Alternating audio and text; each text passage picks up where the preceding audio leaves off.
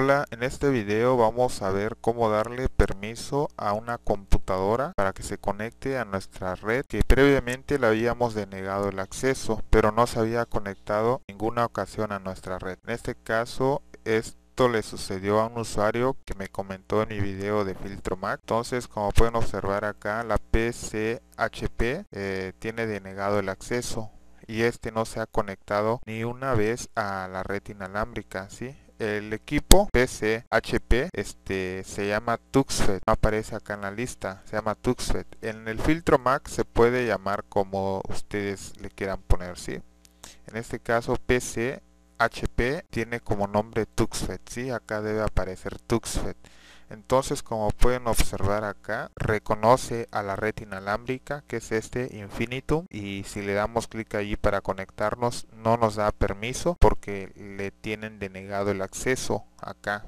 ¿sí? entonces vamos a ver cómo darle permiso de nuevo si no aparece acá porque todos los que aparecen por acá podemos darle permiso haciéndole clic en el, en el nombre de la máquina y hacer un clic en allow it on infinitum ¿sí? Decirle que le queremos dar permiso pero esto es porque ya le hemos dado este permiso en el filtro Mac.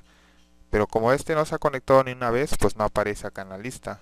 Y vamos a ver cómo darle permiso de nuevo pero desde la consola. Para poder darle permiso a la máquina o dispositivo que hemos bloqueado sin querer nos vamos a conectar por medio de telnet a nuestro modem. Lo vamos a hacer mediante la terminal de Linux o mediante el CMD de Windows. Vamos a teclear el comando telnet 192.168.1.254 presiona enter ingresas el nombre de usuario que es telmex en mayúscula y la contraseña que ya sabes que se encuentra en la parte debajo de tu modem. Ingresas esos datos ya estás logueado como con el usuario administrador del modem y vamos a bloquear. Acá puedes teclear el comando eh, wireless luego el comando mac y presionas eh, la tecla del tabulador y se autocompleta y ya presionas enter. Ya estando dentro de la configuración mac de la red inalámbrica vamos a presionar la tecla de signo de interrogación y presionamos enter nos muestra acá todos los comandos que podemos ingresar. En este caso flush nos va a servir para borrar toda la lista que hemos configurado. El comando list pues obviamente ya lo vimos para listar los las computadoras o dispositivos que tenemos en el filtro Mac, el delete para borrar un registro que hemos realizado, el modify para modificar, el add para añadir un nuevo dispositivo, el register para registrar a un nuevo equipo que solo funciona con el modo de registro. También les voy a mostrar acá una opción que, que es muy parecido a esto, al filtro Mac. De hecho es el filtro Mac, pero todo lo hacen desde el modo gráfico acá lo que va a hacer es este, buscar las computadoras o dispositivos que están intentando conectarse al modem, al modem y registrarlo de manera dinámica. De hecho por eso acá le pone el nombre de dynamic porque lo, hace dinámicamente si lo hace mediante un registro. Para eso hay que configurar al modem que, busque a los dispositivos y lo vamos a ver al final. Bien lo que queremos acá es darle permiso a esta computadora que hemos bloqueado por error ¿sí? así que vamos a utilizar el comando modificar para hacer esto. Entonces vamos a teclear el comando modif. Podemos teclear las primeras tres letras y con el tabulador se autocompleta. Presionamos enter. Nos va a preguntar cuál es el ID de la red inalámbrica. En este caso solo tenemos uno así que presionamos 0 lo mismo con con el ID de la radio presionamos 0 nos pregunta cuál es la dirección física de nuestra de nuestro dispositivo.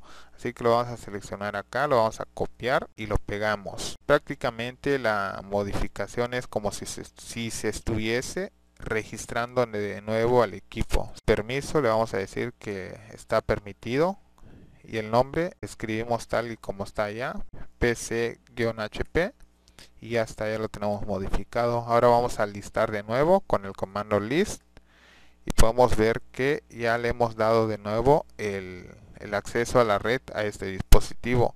Ahora solo nos queda guardar los cambios con el comando save all. Presionamos enter esperamos a que se guarde. Y ahora después de que ya se haya guardado la configuración vamos a intentar conectarnos a la red inalámbrica y van a ver que de este lado va a aparecer Tuxfed, ¿sí? Es el nombre que les había dicho al principio. Vamos a conectarnos acá. De hecho, creo que ya se ha conectado. Vamos a actualizar esto para confirmar. Bueno, acá aparece como desconocido, ¿sí? Pero vamos a verificar que realmente es este dispositivo. Vamos a darle clic acá en el, en el nombre del, del dispositivo desconocido. Y miren acá la dirección física o dirección MAC es la que yo registré acá en, en la consola. ¿sí? Observen acá, es esta. Les decía que también podemos este, hacer el filtro MAC por medio de, de registro. ¿sí? Para eso vamos a red doméstica, hacemos un clic acá en WLAN, hacemos un clic en buscar dispositivos inalámbricos. ¿sí? Y va a empezar a buscar todos los dispositivos que, que en este momento se estén intentando conectar a nuestra red. Pero para poder hacer ese tipo de filtro MAC, tenemos que ir a configurar.